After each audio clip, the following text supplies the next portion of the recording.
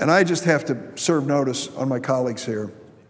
I don't know what procedural tools are available to us, but when it comes to an amendment that takes that kind of money away from critically important school districts in my state, I'm going to use every tool in the box to stop this from coming to the floor and passing.